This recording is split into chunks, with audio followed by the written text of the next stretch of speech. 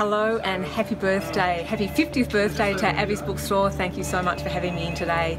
I'm here with my new book, Into the Fire.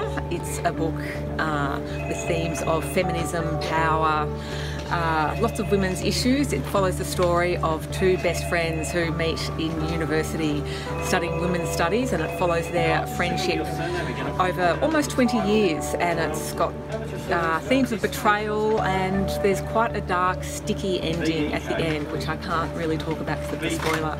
Um, but yes, and happy International Women's Day for today also.